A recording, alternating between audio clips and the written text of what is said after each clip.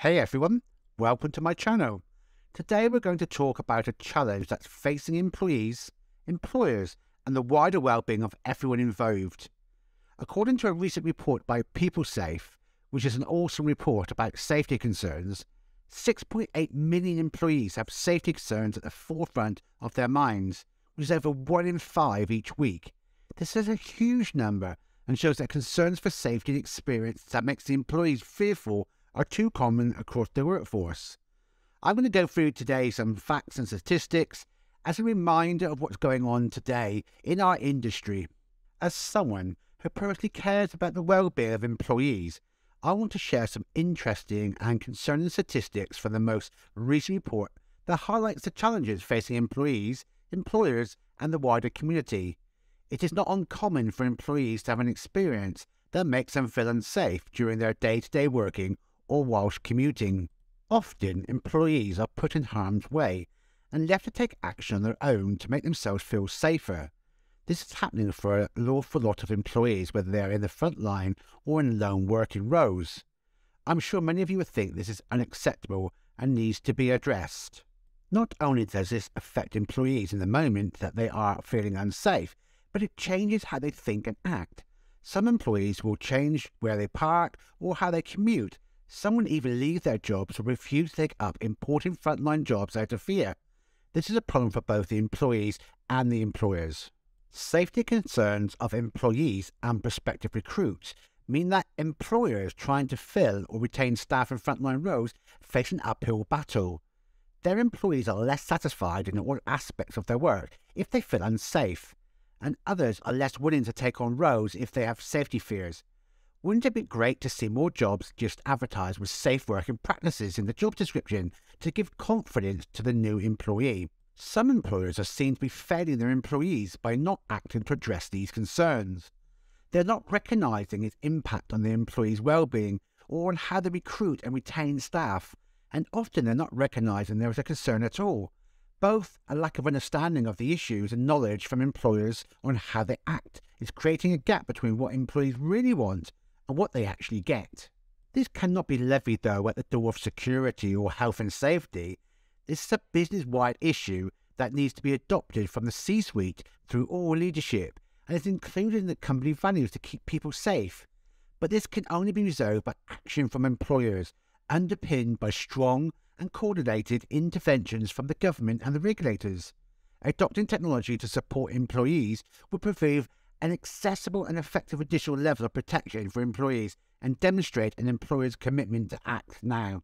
Furthermore, stronger guidance and information for both employers on what they should do and the employees on what they should expect will provide more certainty and help address the growing gap we have found between the employees' concerns and the employees' actions.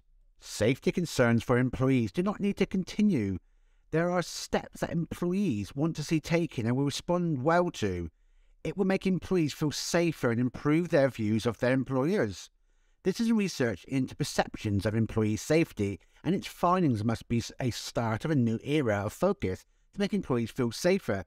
If we seize this moment, this opportunity will not only improve the well-being of millions of people across the country, but will also set a stronger foundation for employers to help people recognise there is a concern at all. So, I say with a passion to all the employers out there, please take action to address the safety concerns of your employees. It's not just good for them, but it's also good for your business. And to all the employees out there, speak up, have a voice, make yourself heard. You deserve to feel safe at work. Let's not just limit this, though, just to physical security either. 41% of employees experience mental health issues at work. With workload and working hours being the most commonly cited reasons, it's clear that the well-being of employees needs to be a priority for employers, not just for their physical safety, but also for their mental health. So what can be done to address these concerns? Well, employers need to take action to make their workplaces safer and more secure for their employees. This can include implementing protection solutions such as safety devices, security cameras, and emergency response systems these solutions can provide an additional level of protection for employees and demonstrate an employer's commitment to their safety. Employers can also, of course, provide stronger guidance and information for employees on what they should expect regarding safety and well-being at work. This can help to bridge the gap between an employee's concerns and an employer's action, providing more certainty for everyone involved. And of course, governments and regulators also have a role to play in addressing safety concerns in the workplace. They can provide stronger guidance for employers on what they should do to make their workplaces safer and more secure. They can also provide additional resources for employees to help them feel safer, such as safety training and support programs. Let's not forget, though, as employees, we also have a responsibility to speak up and make our voices heard. If we have safety concerns, we should bring them to the attention of our employers and work together to find solutions. We deserve to feel safe at work and we should not be afraid to speak up and about our concerns. Before I conclude, let me give some context. Since 1995, I have advocated in retail the need for two people to open and close a shop, and in corporate, zero lone working in offices. And I have been asked many times during my career to change that policy to allow for just one person due to payroll costs and constraints, which I have many times refused and supported with a business case.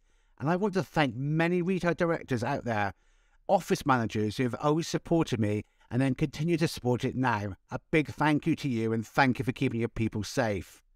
We cannot underestimate the intentions of safe working practices in the face of challenging financial periods. For those that are tempted, already reduce your people, stop. Just stop, evaluate, and check in on those topics and be prepared to reverse your thinking in favour of your staff safety. In conclusion, though, to this session, Safety concerns in the workplace are a serious issue that affects millions of employees every week, every day. Employers, government, and regulators all have a role to play in addressing these concerns and making our workplaces safer and more secure. By taking action to address safety concerns, we can improve the well-being of millions of people across the country and set a stronger foundation for employers to help recognise the importance of people's safety.